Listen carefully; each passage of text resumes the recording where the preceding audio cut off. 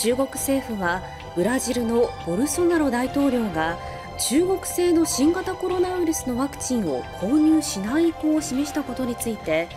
世界各国が中国のワクチン開発を高く評価していると反発しました。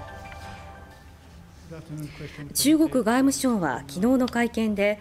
中国のワクチンの自主開発は世界の先端を走っている。世界各国に高く評価されていると安全性を強調しました。ブラジルのボルソナロ大統領は21日国民はモルモットではないなどと SNS に投稿し中国製のワクチンを購入しない意向を示しました。ブラジルで中国製ワクチンの第3段階の臨床試験が進む中